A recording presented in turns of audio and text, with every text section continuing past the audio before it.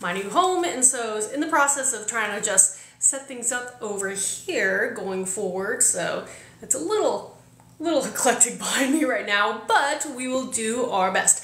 And also, oh, I forgot about that. And also, on the note, this is going to be my author's chats of the week. And if you have any questions for me, my co-host, who will be joining in just a little bit, let me know. We'll be talking about books, writing, publishing, and everything in between. And I'm sorry I have a little dust in my nose, part of that moving process. Three, two, and one. Hey there. Hi, how are you? Doing good. How are you doing? Good. And if you hear any echo, it's because I just moved into my new place, so there's nothing on the walls, and so every room echoes right now. Oh, that's that's okay. And congratulations on moving into a new place. Thank you. I will hopefully before the end of it have everything set up so I can actually have what I would view as a functioning author's office, which I'm excited about. That'll be awesome. Hey, Nander. But yeah, so uh, thank you for coming out and hanging out. I know for you, your schedules, you're just one of those people who are going 20,000 miles a minute. So I am thrilled that you made some time to come out and hang out today. yeah, absolutely. Thank you so much for asking me, and I'm so glad we were able to work it out. Yeah, and so I will let you reintroduce yourself to anybody who might know you, be unfamiliar. Most everybody on this platform knows you, but let you do your introduction and what you write, and we'll go from there. Yeah, so uh, I am Jason Dorough. I'm a fantasy author, and I've been on uh, BookTok for, uh, I guess, over two years now. It's gone quickly, but I write the, uh, currently I'm writing the Teshovar series. I have the first two full novels and a prequel novella out right now. Oh, there's the first novel right there. Let's see, I've got the, the second one right here. yeah. So uh, that's what I'm writing. I am in between books on that right now. We can talk about that as part of it. But um, I uh, live in Florida. I go to all kinds of conventions and all kinds of stuff, uh, including uh, where we met at Dragon Con. And um, I don't know. I don't know what else to say about myself. hey, that's great. And the fact I mean, since the last time we did one of these, you've released that second novel, and for anybody who doesn't know, they're they're they're meaty books, so it takes. yeah.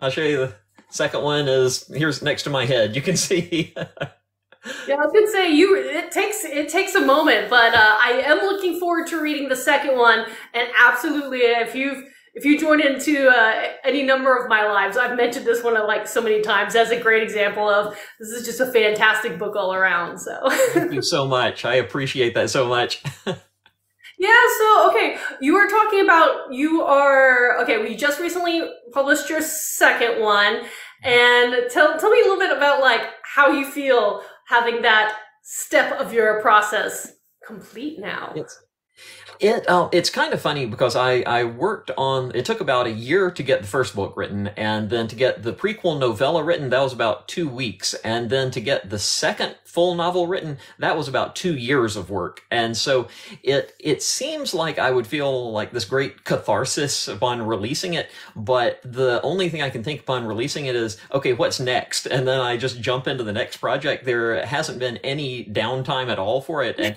in fact I I stressed myself myself out so much when I released this one that I got sick right afterwards, and I think I had the flu or something afterwards. But uh, it's just it's been chaos. well, no one wants to like get burnout, so it's and it's hard for any author to try to find a balance because. Uh, sounds like you are the similar to me in the sense that I love to jump into the next project and co- constantly just go, go, go. But sometimes it's okay to tell yourself you can have a break so you don't reach burnout. Now, have you ever dealt with burnout before or just physically gotten sick?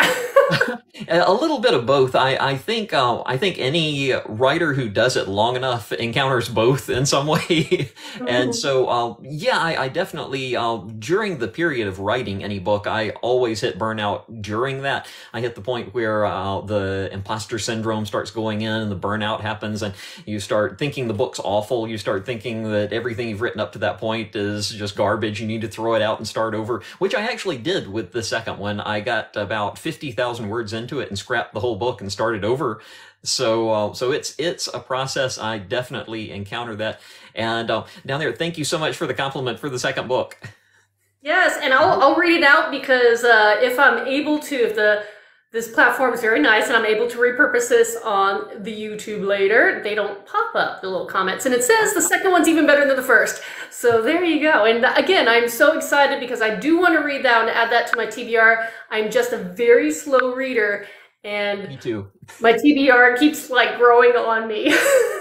I, I totally understand that. I'm a slow reader as well. It um, for me, it's also that I just don't have the time to read. I most of my reading I get done just in between doing other things, or when I go to bed at night, and I'll read for a little while, and then I'm just out asleep. And it's kind of funny that I write books as big as I do because those are the kinds of books that take me months to read, just like months to get through. So, um, but but readers are getting these books and just flying through them. I don't know how people read these things as fast as they do. I don't know. There are some power readers out there, I for sure. Now, I don't remember if I've ever asked you, do you have your books on audio? Because I know audiobook people, they'll like plug it in and like figure out how to like multitask. It's a skill that I don't have multitasking. And uh, that's one of the ways they can get through some of these bigger works where I'm like, I'm jealous. I should, I should start listening to more audiobooks.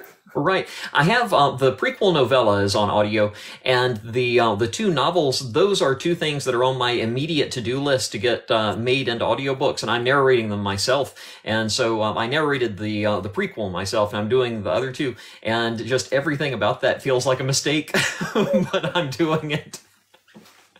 Well, I mean, you're not the only author on this platform that is going through that process of narrating books themselves. And it's one of those things if you're comfortable with it or you have the some kind of background which you in a sense do because you're also a voice actor. So you have way more knowledge in that kind of craft than someone like me. And that's why i pay people like you Yeah, I, have worked as a uh, voiceover artist for over 10 years now, but the kind of voiceovers that I do that I've been doing all along are corporate voiceovers. It's like mm-hmm. ad work or narrating training videos or doing those kinds of things. And I haven't, I, I occasionally have done like video game or animation work, just like a little bit of that. But uh, I've done, other than my own audiobook, I've done basically no audiobook work. And what I try to do with my professional voiceover stuff is I try to do the easiest jobs that I can find for the best pay and that's not audiobook recording. That stuff is hard. So i um i want to do my own books because i know how i want them to sound and everything but just the process of recording them for me is a grueling thing. So i always have such respect for people who their day in day out is recording audiobooks and narrating that. I just i don't know how they do it and i have such respect for them. It is definitely a different skill set because I one of my narrators is is also a stage and TV actor and all that kind of stuff. And he said it too. He's like, anytime I do an audiobook, yours or any of the big um, trad people, he's like, this is like, that is one of the most stressful. It is rewarding, but it's also a different amount of stress than you would expect because you're thinking it's going to be easier when it's actually not because you're doing all different voices getting in the headspaces doing the narration and it's it's it's a feat of its own but i see a comment saying uh, loved your novella audio and you should continue on so I, i'm going to i just i have to psych myself up for it and just fully plunge into it so thank you so much for saying that Oh, that's great. And and your fans are super fans, so I I love that. And I am one of them, though I'm behind. I know I'm behind, but I am one of them. so you kind of started off talking about how you like to go to different kind of events and cons and conventions. Do you have any in the near future, or what is your plan for the rest of the year, idealistically, or what you have you secured? If that makes sense. Sorry, that was rambling. No, no, that's good. Uh, yeah, I, I, have a few scheduled um, in May uh, coming up, or the next ones. I have uh, two actually here in Orlando. I'm in the Orlando area. I have, um, and I don't remember the exact dates, but they are in May. There's one called uh, Starfall that's going to be in Orlando. It's a first year event that is uh, the overall theme of it is is sort of um, ACOTAR, but not ACOTAR because it's not an official kind of thing. But it's um, called Starfall. So I'll be there. I uh, will have a table. I'll be doing signing selling and all that. Plus, I think they're going to have some panels I'll be speaking on. And then also in May, uh, I haven't actually announced this yet, and they haven't announced it yet, but I'm going to be a speaker at BookNet Fest in Orlando. And uh, I went to that just as an attendee last year and had a really good time. So I'm excited that they wanted to have me as a speaker this time. So I'm doing that. Then um, jumping ahead in uh, November, towards the end of the year, I have another event from the uh, group that's doing Starfall. They're doing a an event in Orlando called uh, the Dance of the Dragons, and that's a two day event where I'll be signing and selling and maybe doing panels. And then hopefully, hopefully, hopefully, I'll see you at DragonCon. I'm trying as hard as I can to get a hotel room. So if, if anybody seeing this has an extra hotel room they want to offload, I'm your guy. but for real, but for real, because like you, you are a phenomenal spe- phenomenal speaker on various panels and you have been for a number of years and so it would be we would be missing you if you are unable to attend and i hope to see you there too because uh, I intend to be at that one and I'm waiting to hear back from a couple others, but um, I'm a slow and steady person where it's like I maybe should apply more to more, but I always am trying to just make sure I don't overwhelm myself with scheduling mm-hmm. because I always do these grandiose behind the scenes projects, as in the Kickstarter that lo- I'm launching next week, where that takes a lot of time and energy, but maybe yeah. it's maybe I should do more face to face. I don't know. it's it's so much fun doing the uh, the conventions and doing uh, events like that, and and I mean you're awesome on panels as well because we've been on panels together a few times, and you uh, you're a fantastic speaker as well, and I enjoy doing those with you. But the uh, the in person events are so much fun. Uh, for one thing, I enjoy talking about writing, the process of publishing, and all that kind of stuff, and that's an opportunity to do that. But also, uh, a lot of the events are really great for in person networking with other authors and meeting readers.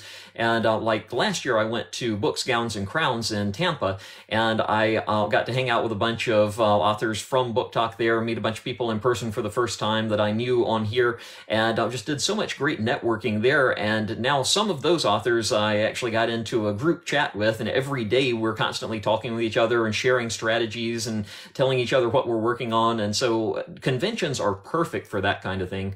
And I wanted to ask you about something, uh, and I won't say too much yet because I don't know what you've said. Have you said anything? Anything publicly about any DragonCon plans yet that you have?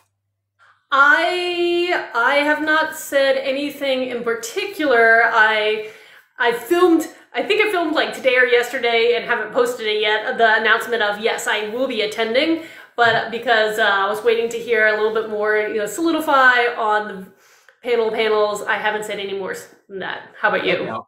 I won't say I, I, didn't want to say anything, but uh, but you you most likely have cool stuff coming up for DragonCon for you. well, again, I really hope you're there because it won't feel the same without you. And I do love that event. And kind of like what you were mentioning, it's so much fun meeting so many other authors from various various platforms, but especially BookTok. Book Talk people are awesome. Just saying that. Yes.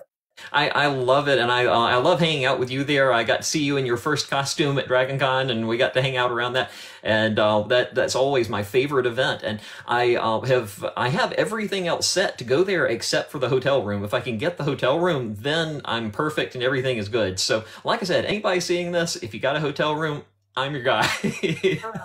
That's what. Hey, you never know. Maybe you should post a post with uh, the handles for Dragon Con and seeing if anybody sees it, and you know, cater it that way. It may also mess, mess up your algorithm. I don't know, but that, that's ask and you shall receive. Who knows? I, wait, I, need to manifest it. That's what I need to do. Manifest goose okay, so let me let me go. Let's go back to your series. And I remember, or correct me if I'm wrong, that the books of your series you were doing, was it in your big plan three trilogies in the same universe? Okay. That's right. Yep.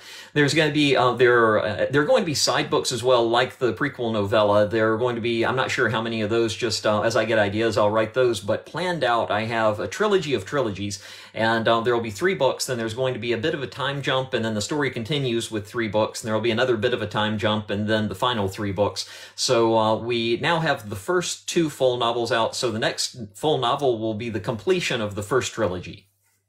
I love it. I love it. That's so exciting. Yeah, I'm excited to get it out. I'm I'm working on something that's not in the series right now as my next book because my brain just needed a little bit of a break for a bit. But I'm still I'm uh, just constantly thinking about that third book and looking forward to getting into putting it together and writing it. And uh, so I'm I'm excited about what I'm working on next, but also excited about the book after that, which is book three. Hey, I don't know if the word palate cleansers re refer well to books, but it is nice because I totally get that. I'm, I uh, publish multiple series simultaneously, but I work on one and then I switch to the other and go back and forth, and that way kind of don't feel like um, overdoing it with any one series. And it's it's just refreshing because then you go back and you're super ready to delve into the book again. Yeah. And I see a comment saying, "Can't wait for book three, especially how book two ends." That's a nice teaser there. I appreciate that teaser. I love it. Yeah, I'm, I'm, excited for book three. I know everything that happens in it. I have the rough outline of it together. I need to do like the chapter and scene outline and then actually write it. But before that, I'm doing something that's not Teshovar at all. So I I, I have friends who uh, have done that kind of thing that they'll be writing their series and they need a break from it. They need to write something a little bit simpler, a little bit quicker, and uh, they call it their candy books. So I'm thinking of this next one as my candy book.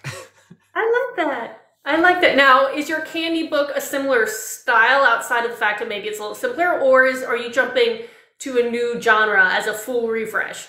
It's a it's an adjacent genre. I'll say that. I um I haven't talked specifically about what it is yet. It's it's kind of funny because um usually when I'm writing something, I can't talk about it at all until I finish the first draft because it totally derails me.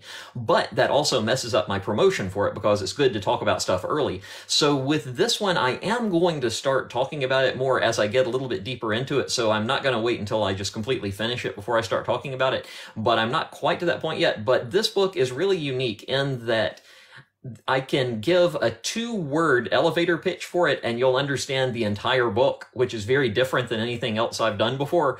And it's just there, I, if I said two words, you would know like the vibe and what it's about and everything for the book. so, but it's, um, it is, it's a kind of historical fantasy. I'll say it that, like that. It's not a second world fantasy. It's set on Earth and it's historical and it has light fantasy elements to it. I'll say that.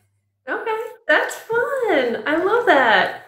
And uh, I, I, I really do. I think it's great when authors change things up personally. Now, some people are like, stay in your zone, but I'm the opposite. I'm like, if you want to, play around, explore your creativity. I mean, that's writing's supposed to be fun, and uh, that's kind of fun. I'm so excited for you. I know, um, I know the um, genres or subgenres that you normally write in. Have you had ideas outside of that, like to venture into other areas or things that you want to do? Well, for me, it's everything is definitely a heavy, you know, other world, second world fantasy, and it's hard for me to break out of that. Now, each series is totally different universes, and so it's all different world building, and I since I'm wrapping up my uh, Viking Dark Fantasy novella series this year, uh, and I'm always well ahead of my publication schedule. So I had this moment and I was like, I'm going to do a standalone for the first time. So it was my first time playing with a standalone. First time where it was a more of a romantasy because I'm not, I don't consider myself a romantic. It's a clean romantasy, so no no spice. But it was also the first time where I did multiple POVs. So it was a great way to play with new things. And that one, um, I'm kind of like you, where it's like, I'm not exactly ready to delve into and tell people what it's about yet. Yeah. I'm not at that stage yet, but it'll be fun because it is, a, in many regards, very different from the vibes of my first three series. That's so exciting. I love that you're doing that and that you're kind of experimenting. And that's one of the, the great things, especially about being an indie author like we are, is we're not beholden to the requests of agents. We're not beholden to what the publisher wants us to do. If we get inspired to go off in a different direction, then uh, we can do that. And we're allowed to do that. And we can seek success in any area that our inspiration takes us to. Mm-hmm. Definitely. Sorry, I'm keeping up, and I was like, want to. I already see you. I want to know the two word teaser. I want to say it so badly, but I I feel like I'm still in like uh, I feel like whenever I write something, there's a period when the story is very fragile, and I feel like if I am not careful with it, it'll break. And talking about is is the surest way to break it. So if I there, uh, like I can talk about it like I've been talking about it, but if I get too specific at this point, I feel like it'll it'll just shatter. so. Hey, and here's the thing: when you get really ready to start editing and depending on your writing style, that could drastically change your book. That could change your pitch of your book. So what might make sense now may not make sense at the end. And so, you know, I get that. I, I definitely get the whole wait until you're ready. And kind of like you, I, I would love to figure out a better pre-marketing strategy because I'm very bad about that. I usually wait till it's like, oh, it's about to come out. Um, I, by the way, there's this book coming out and I don't know. I'm I'm horrible at book releases. Mm-hmm. Absolutely horrible at them. And that's something that I would love to get better at you know, down the line. yeah, the um, the book release is probably my least favorite part of writing overall. I love writing. I love interacting with readers and interacting with authors and uh, friends that I have in the community. I uh, love putting it all together. I love having released a book, but the release process is my least favorite part of anything. And I totally botched it on this last book. Uh, let's see got a question here is um, a question in the uh, chat is Ekathar's greatest trick going to be available in audiobook format? Uh, yes that is uh, the next audiobook that i will be producing is Ekathar's greatest trick and it's going to take me a while to get it together but i'll be recording it myself and doing all the voices and everything so that will be available. That's so fun That's so much fun. And it's, I, I do. I think audiobooks are fantastic because they're definitely people who that is their format and that is all the only way they can read books and enjoy them. And so when you release them, you're reaching one, a whole new group of readers, and two, you definitely have the people who like to collect them all. Are those the book dragons? No, there's a term for it where like you want every format of your book and it's like like the Pokemon thing. Got it. Got to have them all. Pretty one on the shelf, and then the ebook while I'm in bed. You know, collect them all exactly, exactly. So I, I want to have them all out there. I want to do it. Uh, the uh, the audio book is just the one that's taken the longest. And ever since the book first came out, I've had people asking for the audio, and I've been wanting to do it. But I just I I think I psych myself out about how long it takes to record these things, and so I keep postponing it, but I was about to start. I was literally like the next day, I was going to be starting recording the audiobook for Ekathar's Greatest Trick, and I got sick. And so, of course, I couldn't record while I was sick. And so then during the time I was sick, I started working on this, on writing this next book. And so that's how I got deep into that. And so what I'm, I think what I need to do is start recording the audiobook like at night and writing during the day uh, and uh, doing that around my other work, like my voiceover work, but just work out some kind of schedule that I can actually get it done.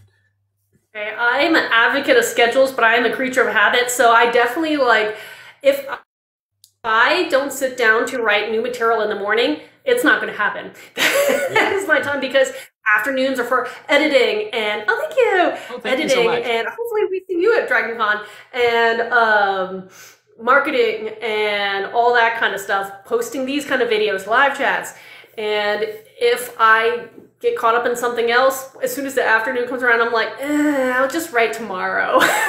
yep, yep. I've had that for sure, and that also seems to happen whenever a new really good video game comes out. so I, I, gotta postpone the so I can play the games. Priorities. Priorities. Yep. Hey, you never know what's going to inspire your next book. And right now, lit RPG is very popular, and you never know. You might all of a sudden have an idea for another spin-off, another series, another. exactly. Well, the the game the game that I've started playing right now, I don't know. I I would be really interested if it inspired a book because I've been playing WWE 2K24. So. Yes. hey, the book that's about to release, well, the one I'm doing this Kickstarter, and um, was loosely you, the, people people read it and know they're gonna know. Loosely loosely loosely inspired from my era of Yu-Gi-Oh! And that's aging me how young I was but like Yu-Gi-Oh! And I was just like oh I was so into it. And so this is kind of like my nod to that era of my life. That's awesome and I love that you can have that as a um as a comp title. You can say if you like Yu-Gi-Oh! then.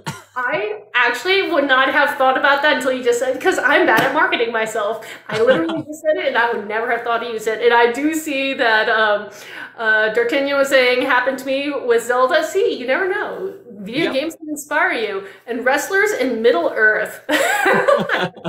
that actually sounds kind of compelling. hey, you know, you never know. You never know. I will admit, you can come up with the most creative ideas, and you just sell it right. Mm, you got it.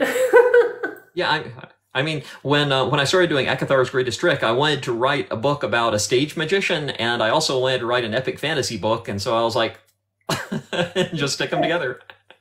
Hey, I love it, and I I remember just when I was really young, I was so enamored with stage magicians and magic tricks and everything, and you know that that's really fun. Yeah. It's so funny. Baldur's Gate 3 or Temptress at the moment. I've heard a lot of a lot of popular um, a lot of people love Baldur's Gate. Mm-hmm. I want to play that. I um, I've been so busy with everything else that I haven't played it. The games I've been playing lately have been games that I can easily sort of jump into and jump out of because I have so much other stuff going on. So they're kind of sessionable games. But I imagine Baldur's Gate 3 is like a full immersion thing that I, I would need to be prepared to just sort of set aside my life at that point. you get sucked into another world. You come back and be like, what year is this? It'll be like the Robin Williams thing yep. exactly. That would be fun. But uh but yeah, I love that. And um okay, I was going with that and I totally forgot what I was about to say. But uh, as we're talking about it, uh I've seen a lot of authors now getting into, and I know everybody's at different stages, but getting into doing special edition books is very popular now. Is that something you've ever considered at some point? I know, you know, your books you are a feat to write in among themselves. yeah, I um I have thought about it. I've had some specific ideas about it, but I always want to be really careful about it because I feel like there's a fine line between having a really cool special edition that offers value to the readers that is something that they really would benefit from having and that I would enjoy putting out. And then on the other side of that line is just like doing something that's kind of an easy cash grab kind of thing, you know, and I want to make sure that I always stay on the sort of reader advocacy side of that line, that anything I release, I do it for the readers and not just as an easy kind of thing. And so uh, I've had some specific ideas for a special edition of Ekathar's Greatest Trick. I haven't executed on that yet, but there may be something coming up with that. But uh, once I get the first trilogy out, I was thinking it might be nice to have something, I, I don't know the logistics of how I might do some kind of box set or some kind of thing like that. Um, they are way too big to do like an omnibus edition, so I couldn't do that. But but I um, I've thought about maybe coming up with some kind of box set edition or something like that. But yeah, especially now that TikTok Shop is such a big thing, it's it's great for selling those kinds of special editions. And I have uh, friends, I, I won't name any names, but I have some author friends who have been using TikTok Shop who are literally making tens of thousands of dollars a month on TikTok Shop with special editions of their books. It's just wild. That is really cool because yeah, that's something that I was trying to decide if uh, because I do have one complete series and it's four books and it's it's at the point where I absolutely love the covers, and I know I keep getting people who tell me they love the covers, but I've been deciding like, are they kind of going out of style? Should I refresh it? But then I was like, well, maybe it's about time to do a special edition for me to like see how that is, do something really nice, um, yeah. um, celebrate the fact that I have a complete series in a little different fashion. And be it a Kickstarter thing exclusive or something a little more permanent, like you're saying, the TikTok shop, um, which a lot of people are using. It's uh, it's just something I've been kind of considering. So yeah, yeah, I think it could be a great idea, especially if you want to uh, to sort of experiment with your covers and try something different and just see because covers definitely can drastically change the trajectory of a book when uh, when it's on Amazon or when it's on wherever. So I I think I, I say go for it. Thank you. Now the the question is, when do I find the time to do the research and the That's we, we need to schedule and promote for each other. That's what we need to do. yes, I love cross promotion is like one of my favorite things. I love doing it, and I don't I don't even remember if you ever did one. I don't think you have. Did you? I had to go check. It's been a moment. Um, did one of my written interviews because I again I love cross promoting and uh, sh- doing that like shining the light on other authors and I also do written interviews for people. You still there? Yes, I'm here. Okay. Sorry, I had a timer saying, "Hey, your dog needs his late night snack." He, I have a dog. He's very big and he has acid reflux. So, oh, okay. he needs a late night snack to settle his tummy every night. Thankfully, my husband has that. got it, got it. Well, hopefully, he'll enjoy his snack tonight. Sorry, I forgot to turn that timer off. And I see a question. A question for both of us. How do you source your cover artist? Ooh, great question. Okay, do you want to start this one? Um, either one, you can start if you want to, or whichever. Well, for me, I've done it different ways. And my one thing is always do your research because no matter where you get them or where you're looking, you can have some great ones, you can have some not so great ones. So always be cautious and know what you're getting into. And I have one, I was very fortunate that my first cover artist, who's now done two of my series, I did get through Fiverr, Fiverr, Fiverr, but that is a platform where you're going to get a lot more duds than the diamonds in the rough. So just be cautious with that platform. But again, do your research and be prepared on that one because they are on the more affordable side. Be willing to test and pay for a couple that you may not end up wanting. Now, on the other side of things, I've I actually found my other cover artist on a Facebook group um, for cover artists, and they show displays of pre-mades, so giving you good examples of what they've done in the past and finding, I found one that I really liked her style and went to her website and looked at her other, um, her custom one she's done for other looked at her background and saw that she had been hired by some of the big five companies too. So doing the research and that's how I hired her, but that was through a Facebook group. But there are platforms like Reedsy that I know there are on there. I haven't used them, but uh, asking other authors that's another thing. So what about you? Yeah, uh, I have only worked with one designer before. I uh, work with uh, Francisca Stern. She online, her website is, uh, I believe it's coverdungeon.com is her website. But I initially found her through 99 Designs, which is another uh, site you can source authors through. I found her on there and I liked her style. I contacted her directly. You can do like a bidding process on there, which I don't uh, like that as much. But yep, that's that's her art right there. She also did this cover here. I'll hold it up if you can see it.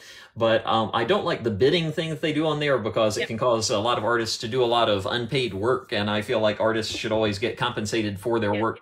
So I contacted her directly and worked with her directly to um, do the Ekathar's Greatest Trick cover, and then she did the Lysandra's Deepest Fear one for me. I um, I actually let's see, I've got the novella here. I did the uh, prequel novella cover myself because this one was never really intended to be sold. I was just going to have it as a freebie ebook that I gave away, but people wanted something to put on their shelf, so I used the uh, ebook cover that I made to uh, to uh, put that together and do the paperback. But uh, Fran has been uh, fantastic to work with, and I, I did all the sort of vetting that you talked about as far as looking to see if she was reliable, all that. But yeah, she's the only designer that I've worked with to this point.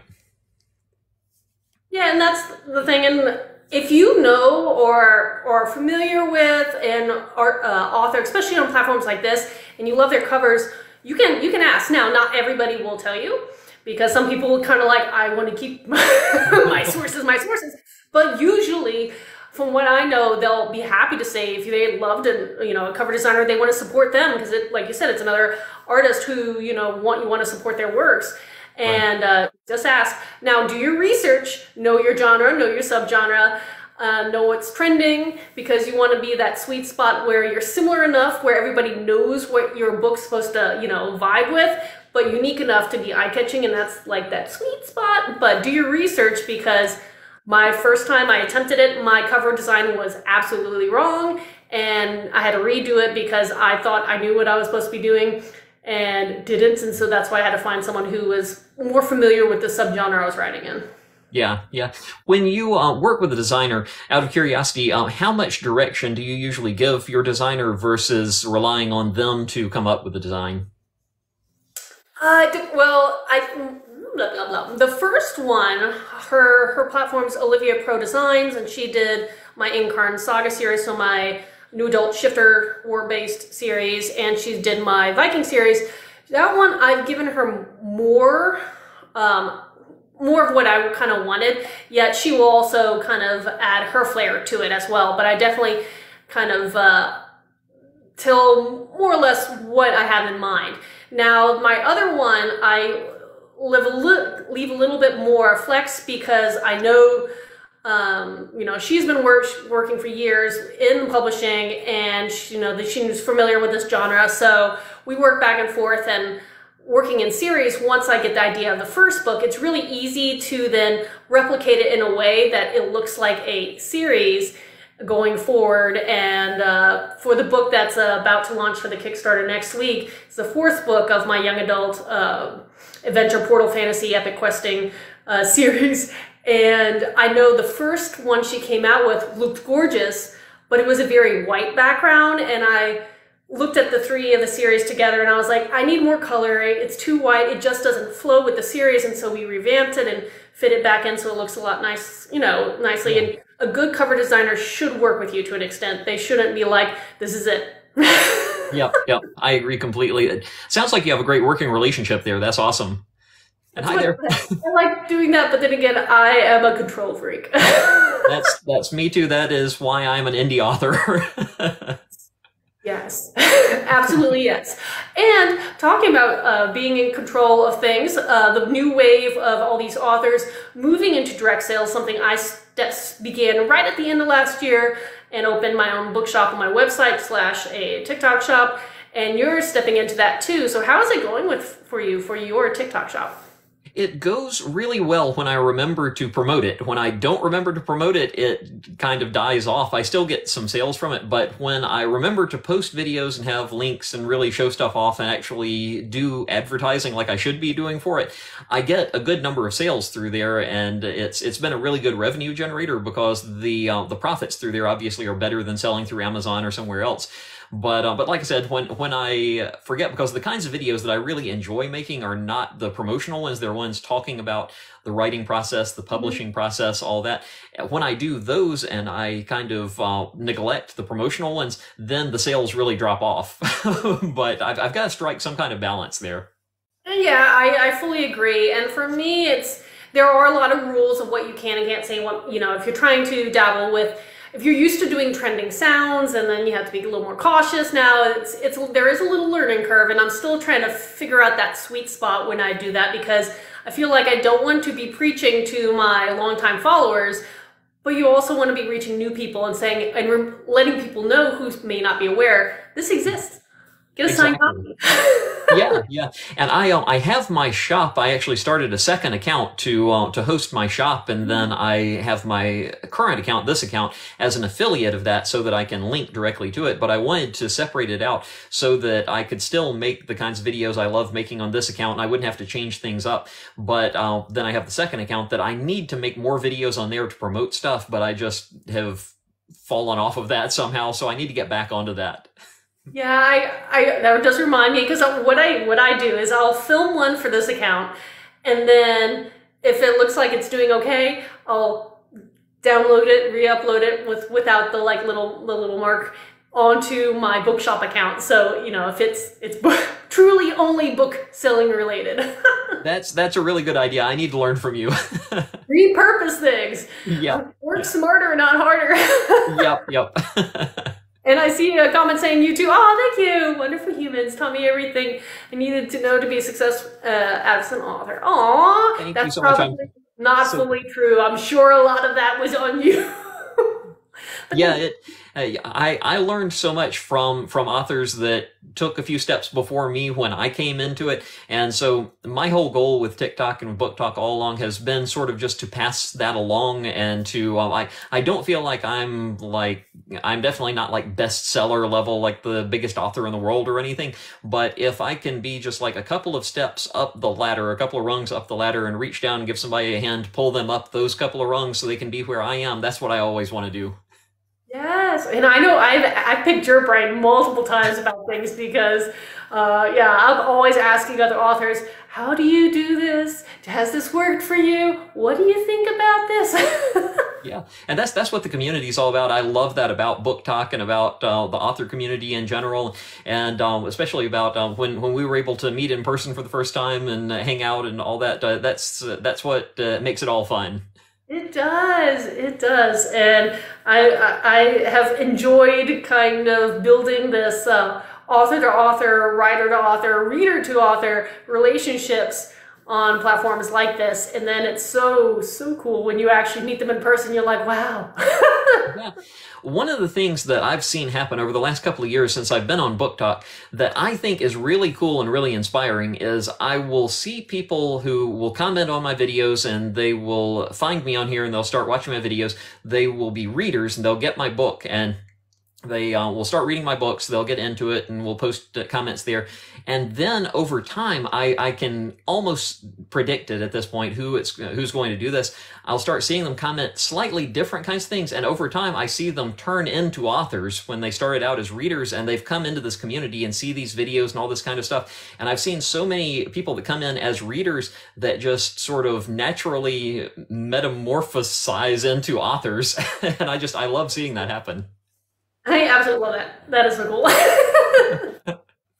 it is, and it's it's something that I think before places like this, it was the idea of being an author was such a distant thing. There was like there was a separation, a wall, this kind of magical force field that you know you didn't know how to get there, and you maybe not didn't even think about it. But now so many people talk so candidly about here's the mistakes I made, here's my journey. Yep. Yeah. Here's how what I think's been working so far, and everybody's just like feels a little more comfortable stepping into it than I know when I jumped into this. I didn't have those resources or didn't know about those resources, and I do think it's really nice because it's a lot easier, and people are so willing to again help others along to their success. Yeah, yeah, absolutely. I see, um, but JJ has come in. Hello. I wanted to say hi to her. But um, yeah, I, I love um, the the amount of help that is given out. And that's one of the things I love in general about indie publishing as opposed to traditional publishing. Traditional publishing has what I feel like are so many arbitrary gatekeepers in the way because you can write a book. Someone can write a book. It can be an amazing book that would inspire people. It could be people's favorite book and you have to jump in traditional publishing so many hurdles to get it into print. First of all, you have to find an agent that uh, likes the book, that feels like they can get it to an editor. You have to get, hit them on a day when they're having a good day, they're in a good mood. If they're not, then that just cuts you off right there. Once you get the agent, they have to get in touch with an editor at a publisher that the whole thing happens again. And there are just so many points along the way in traditional publishing that one person can be having a bad day or cannot be in the mood for the kind of book you are trying to present. And then they just swipe you out into the slush pile and you're done. And so many authors give up that way. They don't publish their books. And it's tragic to think about how many books have died on the path to traditional publishing that would have been amazing books if the author had been able to go into indie and just publish it. Mm-hmm. That's very true. And uh, and here's the thing about indie Yes, it is all on you to an extent. So it is all on you to make your book as good as it can be, or if you're just trying to quickly put something out there, it is on you. Now, that means you have to step up and really love your project and make sure you do right by whatever your book is because there are so many fantastic authors here that are just so published. Yeah, Absolutely. And the uh, the thing that I spend the most money on in publishing, I mean, indie publishing does cost money up front. It's an investment, a monetary investment that doesn't work for everyone. So I completely understand when people need to not do indie because they can't afford it or they're not uh, they're not interested in doing that side of the business. But um, the thing that I put the most money into each time is the cover because that's the first thing readers see. That's what stands out and grabs people's attention. So the uh, the cover is always where my biggest investment goes to make things look as professional as possible. And um, I know uh, from uh, from some other people that I've heard from, they invest more in editing or things like that. It just depends on the areas where you feel like you have strengths or where you need help, and just knowing where to invest to make that work out the best. Mm-hmm.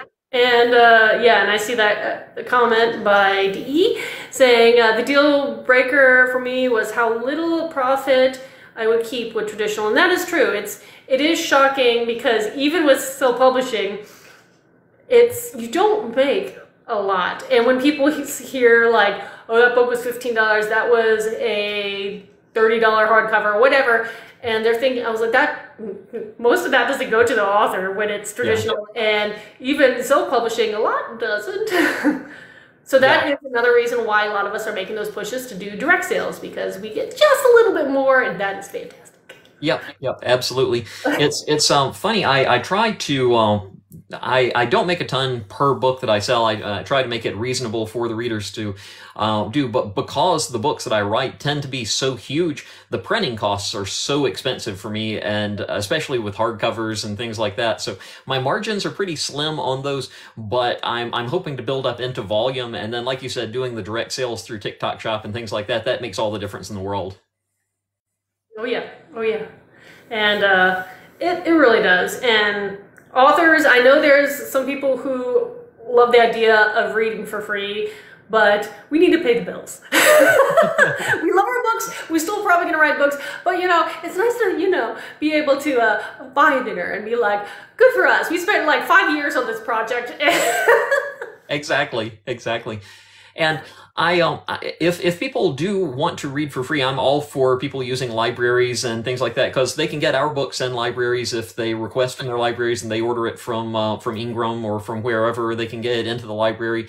And um, I that's actually uh, for my audiobook that I have out. That's where most of my listens come from. It's from libraries that carry it, and people will listen through the Libby app or something like that. And I get a little bit of money each time they listen to that. It's not, of course, as much as if they bought the audiobook and did that, but uh, they they do pay pay out a little bit each time somebody listens to it. So that works out. See, okay, that's what I'm going to talk to you because I am I've started moving the process towards wide for my books and it's going to be a very slow process.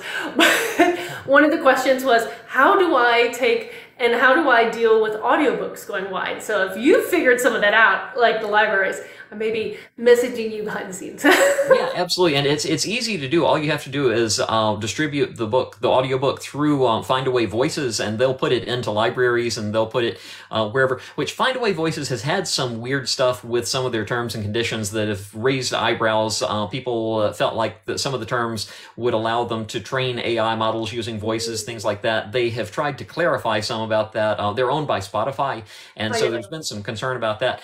But um, it's worked out well for me so far. I mean, maybe they're using my voice to train AIs. I don't know, but I'm able to get my audiobooks to people who might not otherwise be able to get them. So it's worked out well for me. And that's good because, like, I know there are a couple. They're not that many at this moment, but there are a handful of companies that, Find a Findaway being one of them, do distribute. And I just that was my one of my other questions was like, who do you use and all that stuff because there are others as well. And as we all don't like reading fine print. It's smart to do that because, you know, if you are uncomfortable, it's something to be aware when you're making those decisions.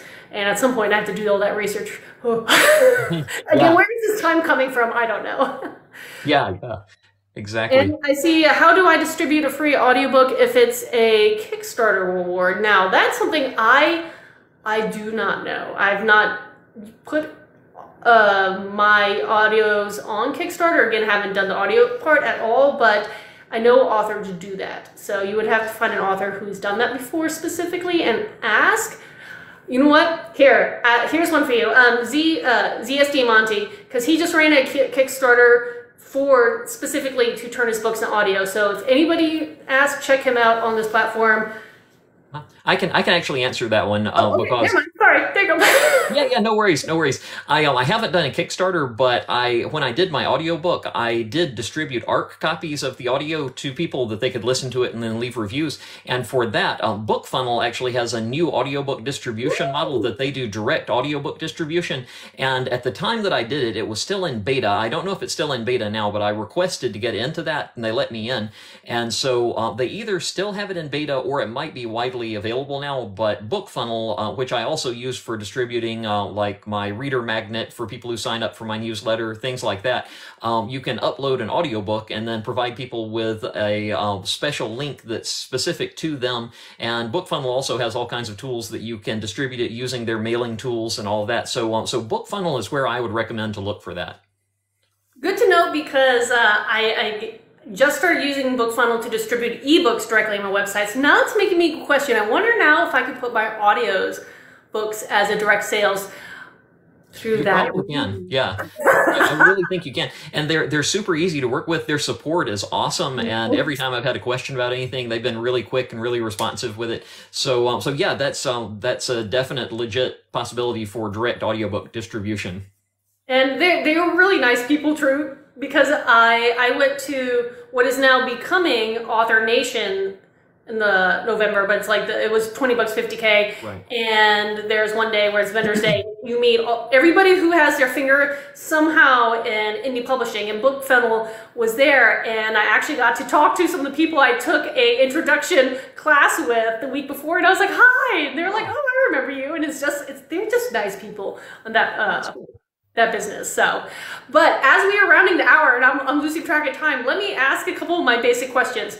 So we've kind of dabbled with it, but where can people buy your books? Like, obviously, we have now the TikTok shop, but like, where can people find them and what formats?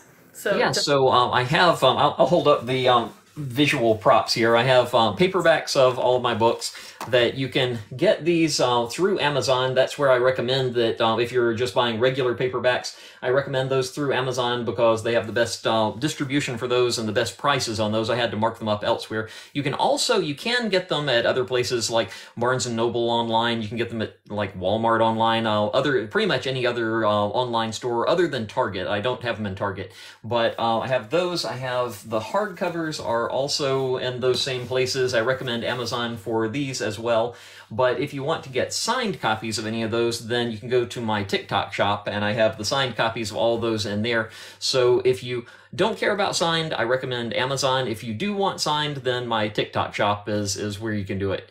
And what is your TikTok shop's name? Since you said this particular handle is your your regular handle. I, I, I yeah. right, right. Um, I believe it is my name and then books at the end. I haven't used it enough to to remember. But if you go to this one, if you go to this account on the profile page, there's a little shopping icon thing. You can tap that, and uh, it'll take you into it, so you can find it directly from this account. Fantastic. Yeah. And uh, yeah, because that's one of the things that I oh thank you. Um, I have to be better about because I'm like oh I have a TikTok shop. I'm like well technically it's not you know this handle so I have to be like it's either at Face Courier Press. If you're going to ask me to spell that that's a little complicated. I usually just be like go to the link in my bio. You'll find my shop. Actually on the website on my website's what I can actually do ebooks too. So that's one thing that I, I found that the TikTok shop doesn't at this moment allow ebooks um, okay. distributed. They only do print. And uh, but on my website I can do ebooks, and hopefully now future can be audio too. This is exciting. Thank you for this tidbit. yeah, yeah, absolutely. I I think you uh, can definitely do that. So check with BookFunnel; they should be able to set you up. Because yes, now I'm like Shopify, BookFunnel. Ooh, I like this. I like. I'm learning the system. It is. It's complicated, but I'm learning it. Now, uh, let me also ask, outside of BookTok, where can people find and follow you? So, website, newsletter, other socials, that kind of stuff. Right, right. I uh, my website is just my name. It's jasondorough.com, and I have all my links there. Um, from my BookTok account, I have a link to my link tree that has all my socials. It has everything pretty much everywhere uh, at uh, Instagram and Threads and pretty much anywhere else. I am uh, the same name that I have on TikTok. I'm Jason Dorough Author, and so uh, I have those the the social platforms where I'm most active. Uh, TikTok is number one. I love doing the video content. I'm starting to repurpose that, uh, which is your word. I'm starting to use that to uh, go on Instagram because I have an Instagram. I want to grow it more, but I never know what to put on there. So I'm just kind of repurposing some stuff from TikTok to put on Instagram. Uh, I had a Twitter back when it was a normal platform. I don't use that anymore, and now for my uh, my text based social media stuff, I uh, use Threads a lot. I really like that. Oh, and okay, so, how do you like that? Because that's something I've not dabbled with. Again, we only have so much time in the day, and it's just is it worth the extra effort? it's overall it's a smaller population on there, but the book community has been much more interactive with me on threads than it ever was on Twitter. And so for me, I, I, feel like if I were trying to reach just like a mass audience, it's not as big as Twitter would be. But I have sort of ethical problems with Twitter and I don't feel good about using Twitter in general. And so I've moved away from there and Threads, has, it has a, a really good author community on there. It has a really good reader community and it seems like it's continually growing. So I, um, I've kind of gone all in on Threads for my uh, micro blogging platform of choice. And so I, I like it a lot. And thank you so much for sending these gifts over. I'm seeing these pop up here. Good to know. no, these are the little, the little fun icons that pop up uh, because of people. Thank you so much for these. And uh, yeah, sorry, I see a question about echo. Now, I mentioned at the beginning of this uh, video live that just moved, and because there's like nothing on the walls of my house, every room is echoing because there's nothing to muffle the sound. So that could be it. And hopefully, I'll be alleviating that when I hang up some stuff. it doesn't sound bad. I, I can hear it. it. just sounds like you're in a room, so I, I think it's fine. very vast, echoey room. No, but uh, but there and for you as well as anybody else, this is one of my my third of the three questions I always want to ask. Is there any topic that you wanted to cover that I haven't covered, or any questions that you had that we haven't been able to answer, and that goes for anybody listening in tonight as well? Oh, um, I've been just enjoying the conversation. Uh, I, I'd be interested in hearing if anybody in the comments has some questions. I'd love to answer those if they if they have something to ask. Yeah, that, that rapid fire Q and A, which I I did this. I did a podcast interview. It was so funny. They had like this the end thing. It was like a rapid fire question, and they were just going off the wall. And I'm like, I can't. I have to like think think before I speak. yeah, sometimes I'm like that. Sometimes I can be on and answer questions pretty quickly. Like uh, when when we have done the uh, the live panels in person together, I, uh, we we've had to kind of be on for those. But sometimes I need a minute to think. mm-hmm. it, it is it is, and especially if they're a little off the wall versus the mainstream stuff. But yeah. how about this one? What is your most satisfaction that or the biggest satisfaction you get about being a writer author scenario? Oh um it is the biggest satisfaction is honestly when i see uh, and we're not supposed to look at reviews but i look at reviews and when I see a review that comes through that I, it's, it'll be like a really detailed review, a really positive one that I feel like the reader got what I was trying to do when I feel like the reader connected with what I, the message that I was trying to put out there. And that has fortunately happened for me pretty quickly with the new book that uh, this one is, uh, has a lot of themes in it that I wasn't sure if people were going to connect with. And it kind of uh, goes into a little bit more that I, I'm trying to talk generally so I don't spoil anything but it goes a little bit deeper thematically than the first one did. And uh, seeing reviews from people who I feel like totally got what I was trying to do, that was so gratifying that honestly, when the first reviews came in from that, I, I felt almost like weepy when I saw that because I'd been working on it so hard and I just didn't know if I was going to completely whiff on it or if people were going to get it. And when uh, when I realized that people were getting it, it was just so gratifying. That's that's the best feeling for me. But uh, what what about for you? Oh, I love the answer. I okay, most gratifying thing. I don't know. I do think it's it's something about when you have, and it is, it's kind of along the lines of reviews, but not necessarily that. When a reader reaches out to you and just, you know, asks you some in-depth question or just wants to specifically make sure you, they know, you know how, um, how much they appreciated the book. It is that, those are like those good, warm vibes and just those, like you said, they, they, they, they, they pull at your heartstrings. They're like, okay. yeah, I, I, guess for both of us, it kind of boils down to having some kind of reassurance that the stuff we do, the stuff we create, matters. I think mm. that's at the core of it. And uh, I'll, I'll go as far as to say I also like the, the comments when someone's like, why did you unalive this character? How dare you? I love that person so much. I'm like, haha.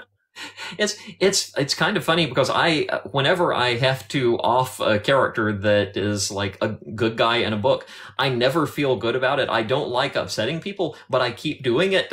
and, and uh, we had talked before about um, not to have a tangent, but we talked about Noble Bright books before and mm-hmm. about how you write Noble Bright, and I was trying to decide if mine were more and more as things progress. I kind of feel like I might not be Noble Bright. it's okay. it, it, kind of, the light's dimming, the the brightness is dimming. it is. I, I, I, like without giving anything away, I can say pretty easily, and this is, uh, uh, has been in reviews and everything that Lysandra's Deepest Fear, the second book in the series, is a significantly darker book than the first mm-hmm. one. It's not just all, all gloom and doom through the whole thing, but it's significantly darker. I think of it as uh, as sort of the uh, the dark middle chapter of the first trilogy and so uh, I, I, as I was looking at after publishing it, I was like, I don't know if I can call this Noble Bright. hey, that's Noble Bright. You can have characters that go down for the count, but yeah, yeah it's the overall overall vibe of the universe and the point of view of like the main character or characters that kind of determines it. But that's why I'm like, I have a Noble Bright group, and I have a couple series that are on the darker side because it is a little more grim and uh, not to say that I want all the characters to unalive, but it just depends on the story. yep, yep. And and it's interesting when you have sort of a combination of characters. You maybe have uh, some characters in the same book that some characters would belong in Noble Bright, and then some characters would belong in Grimdark, and then you just kind of slap them together in one story, just see what happens. Fight. Who comes out?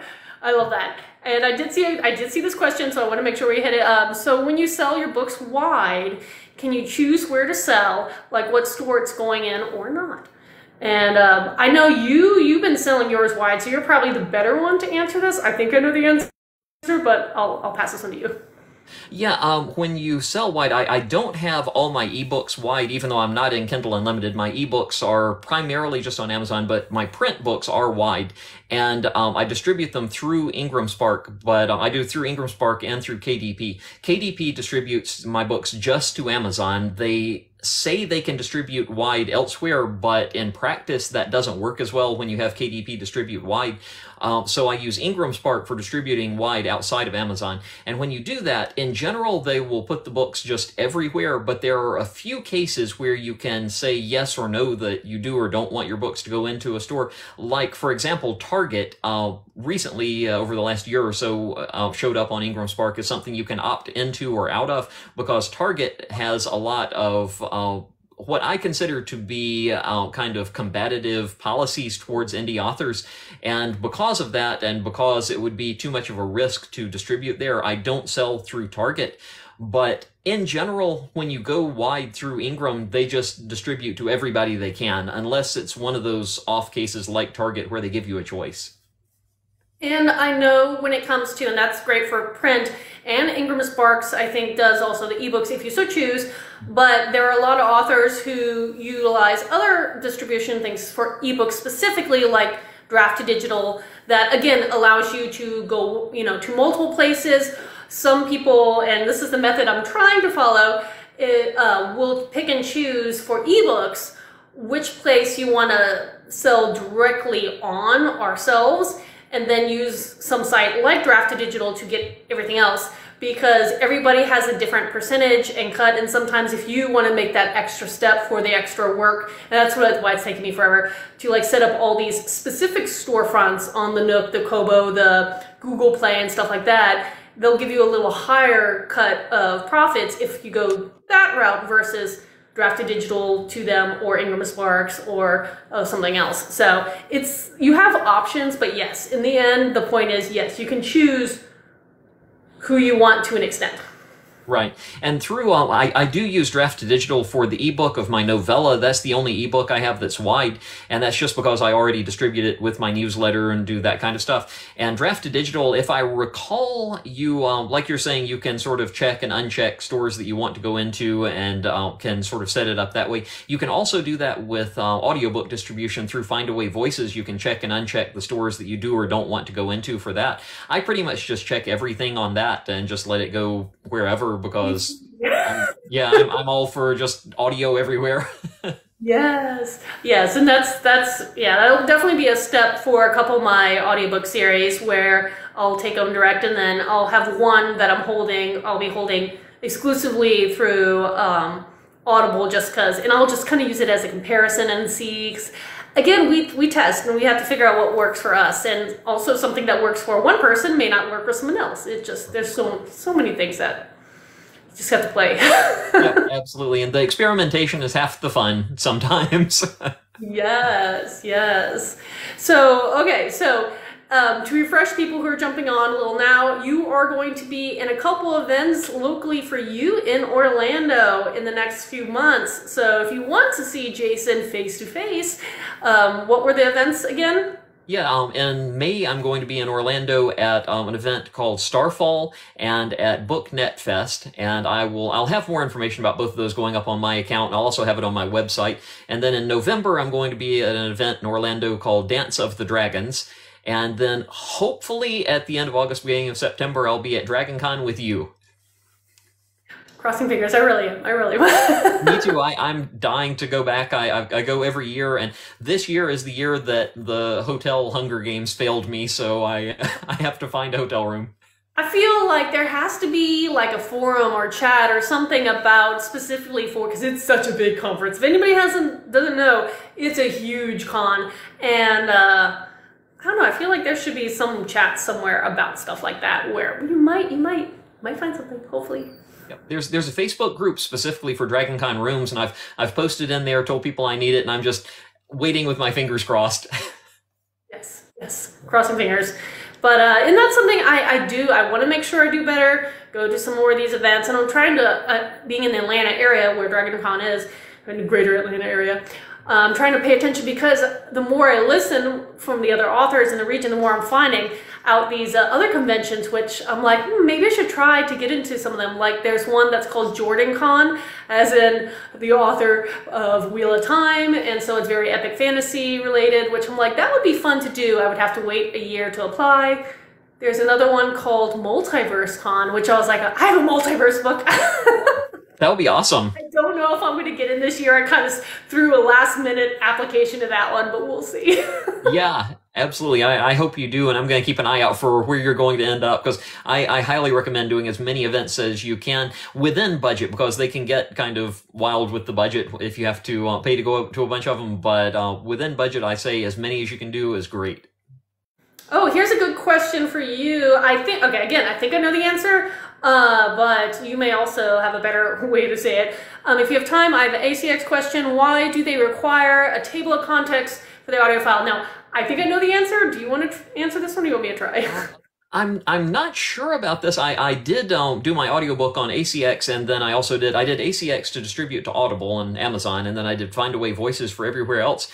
And I um, when I produced it and put it up, I I don't remember making a table of contents audio file for mine. I got it then. So I was wondering how it worked for you.